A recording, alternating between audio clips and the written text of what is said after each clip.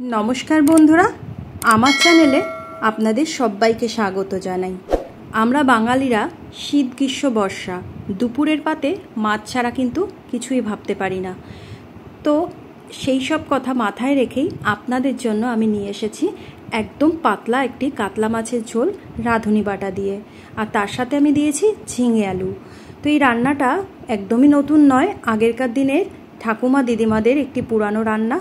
তো এর জন্য আমি সবার প্রথমে কাতলা মাছটা ধুয়ে পরিষ্কার করে তাতে লবণ আর হলুদ মাখিয়ে দশ মিনিট মতো আমি ম্যারিনেট করে রেখে দিয়েছি।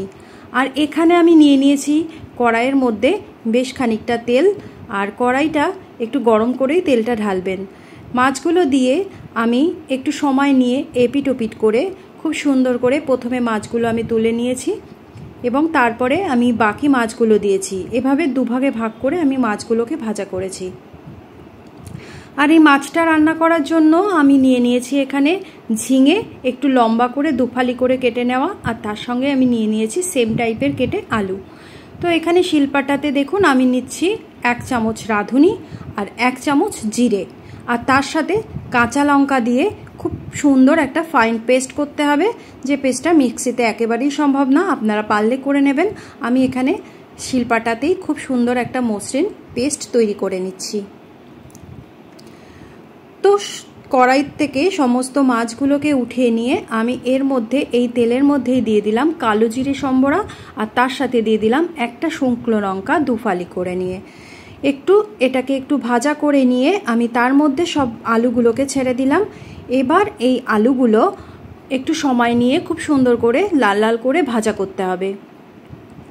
তো দেখুন, আমার সমস্ত আলুগুলো দেওয়া হয়ে গেছে। এবার এই আলুগুলো আমি ভাজা করব। যেহেতু মাছ ভাজার সময় লবণ হলুদ ছিল, তাই তেলে লবণ হলুদ দেওয়া আছে, সেই জন্য এক্ষেত্রে আর লবণ হলুদ দেওয়ার কোনো প্রয়োজন হবে না।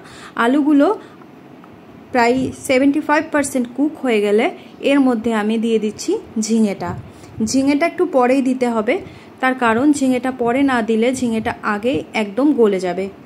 তো ঝিঙে আর আলু খুব সুন্দর করে এখানে আমি ভাজা করে নিচ্ছি। তো আপনারা বন্ধুরা পুরো রেসিপিটা দেখতে থাকুন। এটা কিন্তু খুবই সুন্দর একটি রান্না হতে চলেছে। আর যে কোনো রকম রোগী হোক বা যাদের পেটের সমস্যা হোক, এই গরমের এই পাতলা ঝোল কিন্তু সবার জন্যে খুবই উপকারী একটি রান্না। তো দেখুন, এখানে ঝিঙে আর আলুটা খুব ভালো করে ভেজে আমি কড়াই থেকে উঠিয়ে নিয়েছি। আর কড়াইয়ের মধ্যে আবার একটু কালো জিরে সম্ভরা দিয়ে আমি এখানে রাঁধুনি আর জিরের পেস্টটা এখানে দিয়ে দিলাম। এবার এই পেস্টটার মধ্যে আমি দিয়ে দিচ্ছি লবণ আর হলুদ। লবণ, হলুদ দিয়ে একটু সময় নিয়ে মশলাটাকে কষাতে হবে। যেহেতু আগে মাছ ভেজে নিয়েছি, তাই কড়াইটা একটু লেগে লেগে যাওয়ার সম্ভাবনা থাকবে। কিন্তু একটু অনবরত নাড়াচাড়া করে আমি মশলাটা খুব সুন্দর করে কষিয়ে নিয়ে তার মধ্যে আমি ভাজা ঝিঙে আর আলুটা এর মধ্যে আমি দিয়ে দিলাম। এবার ঝিঙে আলু দিয়ে খুব সুন্দর করে আমি এখানে কষাতে থাকব একটু সময় নিয়ে। অনেকক্ষণ কষাতে কষাতে ঠিক দেখা যাবে এরকম যখন তেলটা রিলিজ করে যাবে, তখন এক্ষেত্রে আমি দিয়ে দেব জল।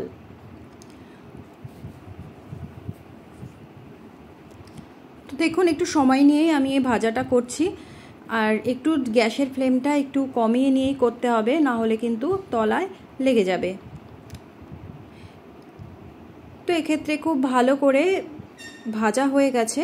এবার এর মধ্যে আমি অ্যাড করে দেব জল।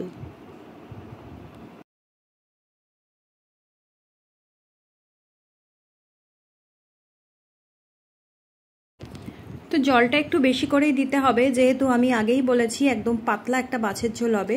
তো তারপর ঢাকা দিয়ে আমি রেখে দিয়েছিলাম। পাঁচ মিনিট পর আমি এখানে ঢাকনাটা উঠিয়ে নিয়েছি।